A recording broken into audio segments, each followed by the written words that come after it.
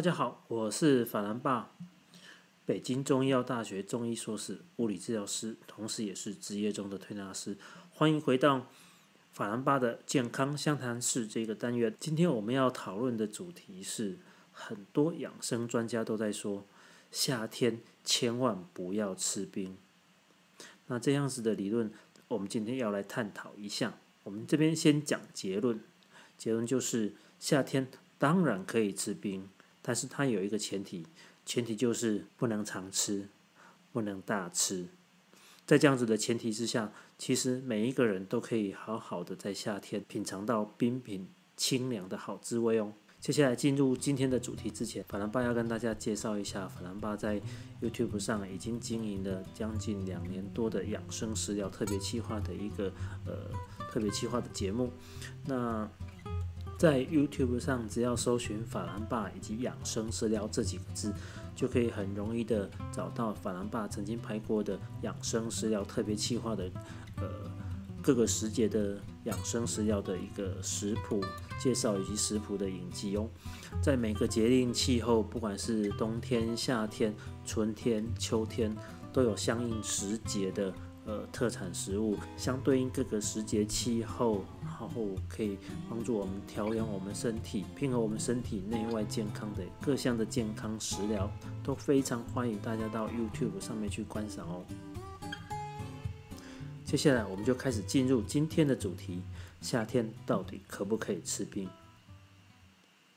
像这么热的夏天，外面气温六，外面气温三十六、三十七度。甚至三十八度、三十九度这么高热的天气，你让我不要吃冰，那不是非常的难受吗？我们人都有一种趋性，像在冬天寒冷的时候，我们就会想要吃火锅，想要吃一些热的汤品，来补足我们身体里面的热量。那当然，到了夏天的时候，这么热的天气，外面天气这么热，我们当然也会希望来吃点一些，来吃一些冰凉的食品、冰凉的冰品，来让我们身体的体温不要那么高。这样子的想法难道是错的吗？这么热的夏天就是要吃冰啊，不然要干嘛？但是呢，这边要讲一个前提，就是说，你夏天当然可以吃冰。我们人体，我们人的趋性就是这样子。你天气热的，吃一点寒凉的，把那个体温，把那个燥热之性降下来。到了冬天，外面天气寒冷的时候，我们吃一些温阳热性的食物，热性的食品。热性的食疗，把我们身体的体温，把我们身体的机能提升上去，这是很自然的一种现象。但是呢，它的前提就是说，你不管是在冬天吃热的，夏天吃冰凉的，它都不可以过量。好，尤其是夏天，尤其是 尤其是夏天，最主要的原因就是因为。我们人体是一个恒温的动物，我们人体常温在三十七度 C 左右，在我们人体恒定的温度之下，不管是外在的环境或是我们人体的里面，你接触到过高或过低的温度变化的时候，我们身体里面的恒定系统就会很努力的要把这样子的呃高温或是低温的情况把它矫正回来。所以，当我们吃的温度过低的冰，我们身体要花费很多的热量去把这个冰它。它带来的一个冷的一个情况，把它改善到我们人体的常温。那如果说我们吃进去的冰，或是我们吃进去的呃凉品、冰品的一个量不多的话，或者是我们偶尔偶尔才去吃一次，我们的身体很快就可以把这样子的一个失衡的状况矫正回来，那是没有关系的。但是如果说你常吃，或者说你本身身体身体先天的体质，肠胃功能就比较不好。你在调整它这个体热、调整我们阴阳的状况，就本来身本身就不是很好的时候，或者是说，呃，年纪开始大了，我们身体里面的气血循环开始下降，它这个矫正温度或是提供我们人体热能去去把冰品温度提升上来，这样子的一个功能，它其实是减弱的。在这样子的情况之下，就会很容易让我们的身体里面的平衡系统失常。那失常了之后呢，就会导致我们人体会有腹泻、腹痛哦等等不好的一个症状。再更进一步，你偶尔偶尔失常了，它会让你腹泻、腹痛，然后呃短暂的不舒服。如果你常常做的话，甚至会出现说呃有会有恶寒、怕热、手脚冰冷，甚至于头晕、头痛等等的症状。这样子，呃，类似像自律神经失调的一个呃情况就会跑出来。所以说，这就是我们为什么不鼓励夏天吃太多的冰，或是太常吃冰的一个原因。好，我们刚刚提到了说，我们的身体里面的气血循环，假如说它气血循环不好的时候，呃，你吃过多的冰品，就很容易让我们身体的一个代谢失，嗯，就很容易让我们身体的一个代谢失常，好，然后甚至会提早。呃，造成我们身体老化的现象，像这个气血循环开始下降，呃，跟我们人体老化退化相相对之间的一个关系呢，我们我们会在未来的时间另外单独来录一个单集，来介绍他们之间的一个相相对应的一个关系。好，那我们刚才提到了，呃，夏天可以吃冰，但是不能常吃，不能大吃的一个原因。接下来我们来聊聊，如果我们今天在夏天的时候不遵守这样子的一个准则，它会产生是什么样的后果？就是说，我们夏天的时候，呃，只要天气热了，我想吃冰的，我就吃冰的，吃一个不够，吃两个，吃两个不够，吃三个，甚至于我早上吃，中午吃，下午吃，这样的时候，对我们人体会产生什么样的一个状态，或是说产生什么样的一个危害？我们接下来我们来讨论一下，在中医。在中医的观点里面，认为，呃，冰品或是凉品，它就是属于一种寒湿之物，吃的这些东西就会让我们的体质慢慢的偏寒，然后会加重我们身体里面的一个湿气。它最主要的原因是因为你吃下去的冰，它会抑制我们身体里面的阳气，那我们的身体里面的一个阳气就是呃所谓的脏腑。五脏六腑的功能，它没办法得到一个很好的一个发挥作用，它会抑制到或是损伤到我们的五脏六腑阳气的运作，它的功能，然后会使身体的各项代谢循环，所有的机能都会跟着下降。在这样子的情况之下，在这样子的情况之下，我们人，哦，每个人可能不一样，呃，可能对冰品它的一个忍受。对冰品它的一个耐受程度可能会有不一样，也许身体不会马上出现问题，但是长久而往，但是长久而往这些东西长期累积在我们身体里面，它就会会有一个对我们身体产生一定量的一个影响。最常见的就比如说女生她的一个经痛、经量，或是白带偏多的一个问题。如果常吃冰的女生，它很容易造成，因为吃了过多的冰品、冰饮这样子寒湿的呃饮料、寒湿植物呢，会影响，它会影响我们女性的一个经血会凝滞不畅。就是说，原本你血液应该是一个顺畅的流动的一个状态，那因为你吃了冰之后呢，它这个寒凝的效果，因为冷，然后造成它凝结的一个效果，会让你的经血运行。无法顺畅，那接着就会影响到我们的子宫啊，女性的子宫会影响到女性的子宫，它的一个收缩的时候，我们的经血每个月的经血就排的不是很干净，那会让你的经血量变少，甚至会让你的经血颜色会变暗。那气血不通，我们刚才说，我们刚才讲说它会造成经血凝滞的状况，因为气血就会不通，那不通就会变成更严重的经痛，那。这样子的经痛常常会牵到我们的腰脊、下背、呃骨盆这一块呢，酸软疼痛的一个状态，甚至在水液的代谢方面，也会在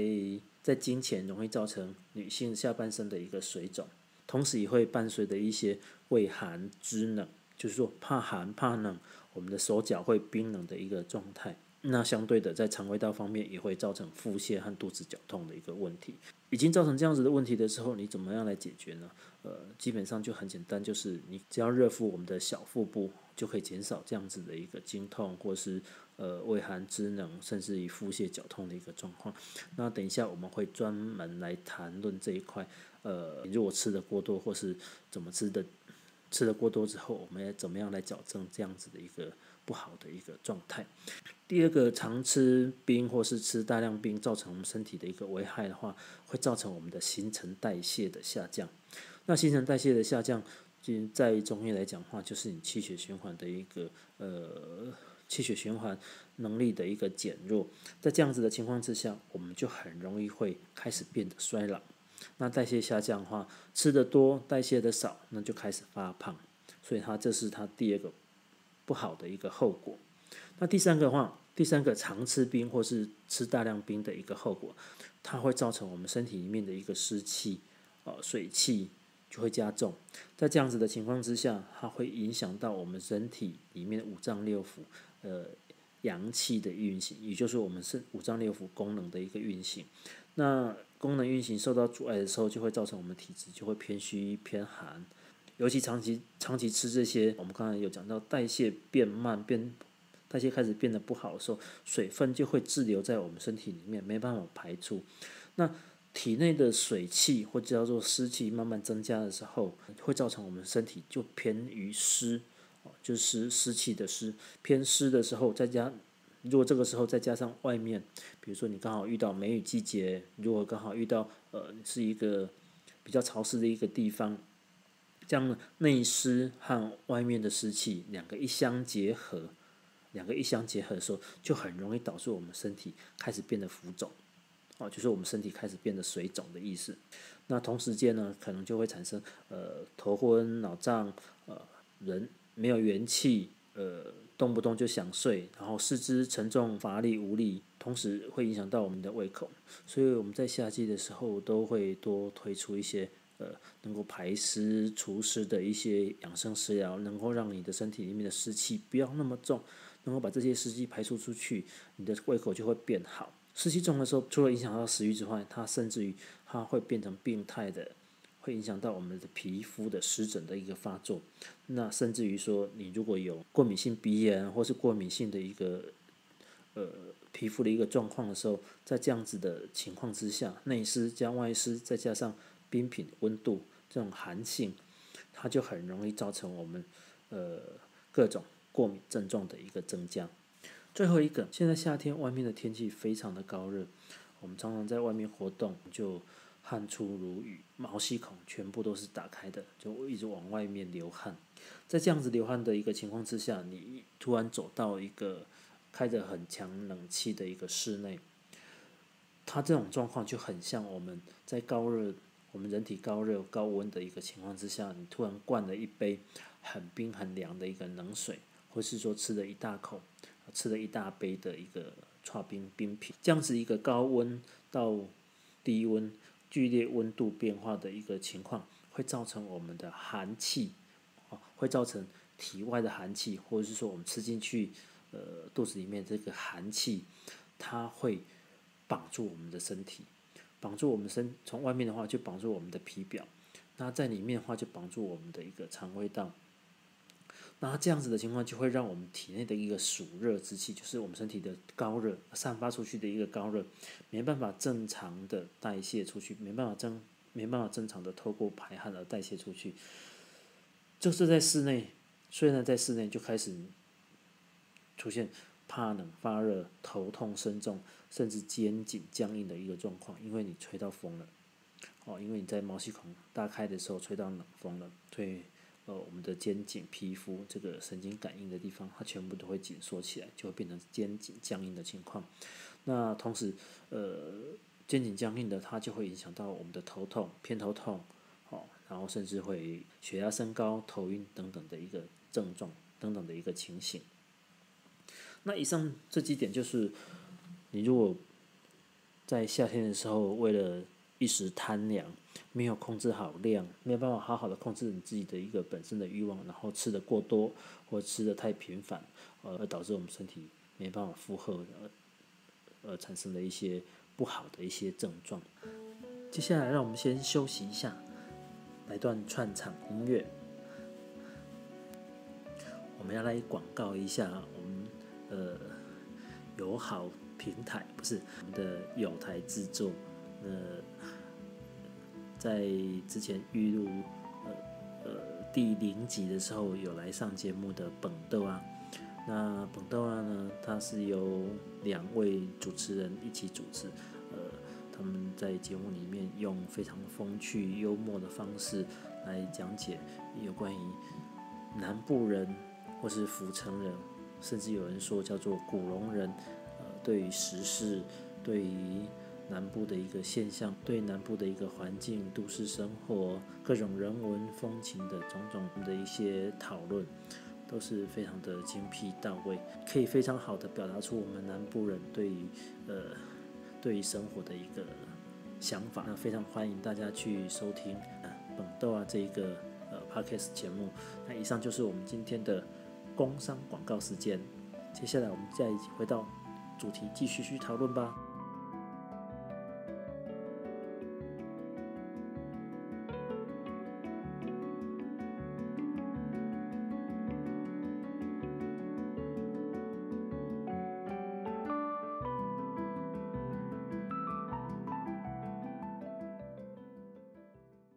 刚刚谈谈，如果说你没办法好好的节制自己的一个欲望，在夏天在高热的天气之下，太频繁的吃的冰品，或是吃的过多的冰品，它所造成的一个危害。那回过头来讲说，那夏天这么热，我们应该要怎么样的吃的冰才会吃的舒服，又不会对我们人体造成危害呢？接下来我们就来谈谈，呃，该怎么吃冰，它还是有一个一个方法和技巧的，掌握好这些。方法和技巧，你就可以在夏天里面可以享受到冰品的一个美味，然后又不会让我们身体造成过多的一个危害。好，我们先讲第一点。第一点，天气最热的时候是夏天，那在一天当中天气最热的时候是中午，呃，就是正午的时候，正午到下午大概三四点之前。那同样的，这个也是我们一天里面，哦，就是正午到下午三四点这段时间。也是我们一天里面阳气最盛的时候，不管是外在环境的阳气，或是我们身体体内生发出来的一个阳气，也都是在这个时间段，呃，是属于最旺盛的时候。那如果说你选择在这个时段来吃冰，因为我们身体里面阳气偏于旺盛，能够抵抗冰品寒寒冷寒湿的一个性质，它就会比较强一点。这个时候我们来吃冰。它对我们的身体造成的危害就会比较少一点，所以说，呃，大概是正午的时间到下午三四点这段时间，呃，来吃冰是一个比较好的一个时段。第二个，第二个，我们希望你在吃冰品或是冷饮的时候，呃，能够隔开我们正餐的时间。所以就是说，我们不希望你在吃饭的时候一边吃正餐一边吃冷饮或是冰品，甚至于说你在吃正餐之后马马上接着吃呃冰品的甜点，这样子你在正餐的时候一边喝冷水冷饮，然后又一边吃呃热的一个食物，会造成我们体内一下高热一下。低温这样子的一个温度变化，会对我们的肠胃道造成过多的刺激和不好的一个损害。那空腹的时候，当然也不是一样，不建议吃冰品凉饮，因为空腹的时候，我们的体内呃少了一个缓冲，你一下吃大量的一个呃冰冷冰冷之物到我们的肠胃道里面，呃，它会直接刺激到我们的一个肠肠胃道，就很容易呃造成我们。呃，之前刚才讲的那些不好的一个状况会产生出来。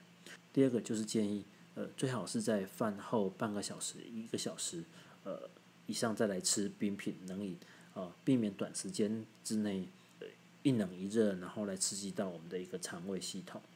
再来第三个，吃冰的时候，哦，不管是吃呃吃冰喝冷饮的时候，都要慢慢的来，都要慢慢的来，不要一下子一大口。那一下一大口，对我们身体的一个冲击和刺激性就会相当的高。那如果说你在吃冰或是喝冷饮的时候，能够在口腔里面先含着，稍微在等冰或者是说那个冷饮的温度提升一点的时候，呃，再慢慢的把它吞下去，就可以避免，哦，就可以避免掉太过于刺激到我们的喉腔、呼吸道以及肠胃道。这样子的温度的回升一点点，它并不会呃影响到它的食品的一个美味的程度。这个时候，因为它温度稍微高了一点点，你再去吃它，对我们身体的一个影响，它当然也会比较小一点。好，所以第三点就是希望吃冰的时候，在吃冷饮的时候，希望能够呃能够细细的品尝，慢慢的从喉腔里面吞咽下去。在如何吃冰吃的健康，这一点就是身为中医人比较讲究的一点了，就是说。你吃冰的时候，冰它本身就是一个寒凉的性质。那假如说你这个冰品的内容它又是一个寒凉性质的一个食物，或是它的一个属性的话，它就会造成它就会造成寒上加寒的一个作用。比如说夏天我们会吃的西瓜。呃，哈密瓜这种瓜类，它是属于偏寒凉性质的一个瓜品，它本身就可以帮助我们消除我们的体热。这个时候，你要把寒凉之物再制成冰品，不管是制成冰棒或是制成冰淇淋，这样子寒性的食物，再把它冷冻成更寒的东西的时候，对我们身体的一个刺激就会更强烈。那中医会认为说，你如果既然要吃冰了，那我吃一些用热性或是用温性食物所制成的冰品，在那个冰品化开之后，它会转换成一个比较偏平和的一个属性，对我们人体的伤害就会比较少。好，这个是比较注重养生的中医，他们会会持这样子的一个观点。那哪一些东西它是这样子的一个一一个属性呢？比如说，比如说你用桂圆，就是龙眼、荔枝。黑糖有这些比较偏温热或是呃平温性质的属性的食物去制成的冰品，我们来吃它的话，相对而言对我们身体的一个接受度或是对我们身体的刺激性，它就会稍微好一点。这是第四点。然后最后一点，第五点呢，在吃冰的时候，真的真的要非常注意你吸收的热量。冰冷的食物，它会让我们的舌头上面的一个味觉会变得比较不灵敏。你可以试试看，喝同样含糖量的一杯温水和一杯冰水，你会觉得喝冰的那一杯真的就比较不甜。为什么？因为寒冷的性质会让我们舌头上面的一个味觉比较不灵敏，你就要更多的一个糖分才会让你觉得有甜度。你吃的外面市售的冰，它为了要让你的口感好，它其实加了很多糖的。它加了很多糖的，所以你吃的太多，或者是吃的呃太过头了、太频繁了，真的就会影响到我们身体热量的过度于吸收，然后就开始变得肥胖。这是一个非常重要的一点，额外的一点一定要注意。那以上就是我们讲的呃五点，怎么样吃的健康，怎么样吃的没有危害，怎么样吃的冰凉消暑，怎么样吃的还可以维持健康。的五种方法，我们刚刚提到了你吃冰吃过头的一个危害，然后接下来我们又提到了教你如何用好的一个方法来可以消暑又健康的吃冰。那假如说你之前已经吃了过量的一个冰品，造成我们身体的一个危害了，这个时候我们要来怎么样调整我们的一个身体？就说，呃，我们已经意识到说我们之前做错了。那这个时候我们要来怎么补救呢？其实非常简单的一个三个步骤，就可以让我们的身体它的一个体内的一个机能慢慢可以调整回来。第一个，假如说你是女性的话，好，我们刚才有提到说，女性过食呃冰品冷饮的话，会造成我们的一个子宫的状况异常，会造成经血的一个异常。那这个时候，女性呃可以多多的去按摩关元穴。那关元穴在哪里？就在你的肚脐下三寸，肚脐下三寸就是我们四个指腹宽的一个位置，就肚脐直下三寸，就是我们所谓的下丹田的一个位置。这个这个地方呢，你可以用用我们的掌心，或是用我们的一个拇指，哈，用我们的拇指，必须是温热的拇指，哈，你不要 你不要手冰冰的去去去按压它，呃，用我们的手心温热的手心去去按摩去。去搓揉这个关元穴呢，它就可以慢慢的把我们的身体的一个体质调整回来，调整到我们把那个偏寒、偏偏寒、偏湿的一个体质调整到呃比较正常的一个体质回来。那这个当然有前提，前提就是你不能够再像之前那样子，呃呃吃的很多，吃的很平常，然后呃完全的不忌口，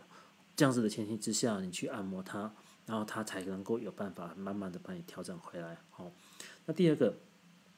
如果觉得说按摩关元穴不是那么方便的话，可以建议你用热敷的方法，好，不管这个时候这种方法，不管是男生女生都可以。比如说你之前已经因为你的身吃的过过食冰冷，然后导致你常常腹泻、常常腹痛。真是整个身整个身体都已经偏已经开始变成寒性的一个体质了。我们会建议你用热敷的方法来热敷你的一个腹部，就是我们的小腹部哦，或是肚脐周围，还以及肚脐下关元穴这些地方，全部都可以呃利用呃热敷的方法来来去热敷它。只要用呃，比如说我们用热水袋来热敷这一块我们的小腹部，只要十五分钟的一个时间，它就会有驱散寒血的一个效果。不过这个要每天要持续哈，每天要持续，不是说你只单单独只做一次，吃冰都吃那么多次，你单独只做一次热敷，你觉得可以矫正的回来吗？当然是不行的哈。所以说，它这是这种方法都必须要持续哦，持续一段时间，频繁的去做它，它才有办法把你那个体质慢慢的矫正回来。这是第二种方法，用热敷的去热敷你的腹部。第三个，第三个就是呃。去吃生姜的料理，去吃姜的料理。姜呢，就是我们食品里面那个生姜，姜母鸭的那个姜。因为生姜它本身它是一个温性的一个食物，它叫它的一个性质叫做性温味辛，味道是辣的。好，那它有发汗散寒的一个功效，所以我们可以多吃一些含生姜的一个食物，能够帮助我们把我们身体里面的一个水气把它发汗出去。把我们身体里面的一个寒气把它驱赶出去。那吃的这样子的一个生姜料理之后呢，可以很好的帮助我们矫正我们那个身体偏寒偏湿的那样子的一个体质。那生姜的一个料理食品有哪些呢？比如说姜茶，啊，比如说呃做菜的时候放一些姜片、姜丝，这样子的料理都可以很很好的帮助你调整的因为过世冰冷而造成偏寒偏湿的一个体质。好，以上就是我们今天健康相谈师的内容。那我们今天的内容也会同步到 YouTube 上去。呃，假如说你不习惯使用 Podcast 来听广播，呃，来听这种呃声音节目的话，我们在 YouTube 上面也准备了同样的一个用听的一个节目，你可以把它打开，然后放着，让它去播放。一样的，到 YouTube 上去搜寻“法兰霸”三个字，你就可以看到相关的内容。好，那节目的最后呢，要呼吁大家，我们的健康相谈室，我们会谈一些类似像今天这样子的一个呃养生，有关于养生，有关于我们一些饮食遗迹，啊，就是不管是跟季节相关，或是跟呃食品相关的这些饮食遗迹，啊，疾病相关的饮食遗迹的一些。呃，相关的一个话题，当然也希望说听众朋友们能够跟我有一个更好、更多的一个互动。假如说你们有希望听到的一个主题，呃，希望我们来聊聊这些主题的话，呃，都非常欢迎到 YouTube 影片下方的留言栏去留言，告诉我们说你喜欢今天什么样的一个内容，你有什么兴趣的内容，我们可以在未来一起讨论。都非常欢迎大家到呃 YouTube。影片下方的一个留言栏，或是到呃 Apple Podcast 的呃下面的一个评论栏里面留言，告诉我，下次我们可以开一个专门的一个集数来讨论我们这些相关的一些内容。好，那以上就是今天节目的全部喽。呃，下次我们的健康相谈室再会，拜拜，See you next time。